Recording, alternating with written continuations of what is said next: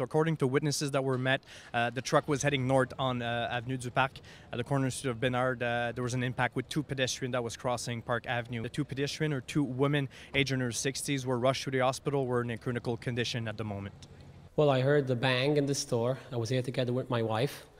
So we came out, we looked, we saw, I saw a woman lying on the ground and bleeding severely from the head. I had some EMT training, so right away I was going to apply pressure to stop the bleeding was a man standing next to me. He immediately took off his t-shirt. I was able to use his shirt to apply pressure to stop the bleeding. My wife, with my phone, she called the uh, she called the ambulance. I assume other people did as well.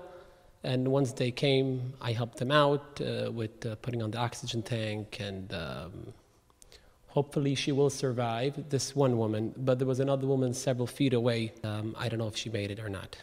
According to the witnesses, um, these two women, they, they crossed while the light was red for them and actually held on to each other.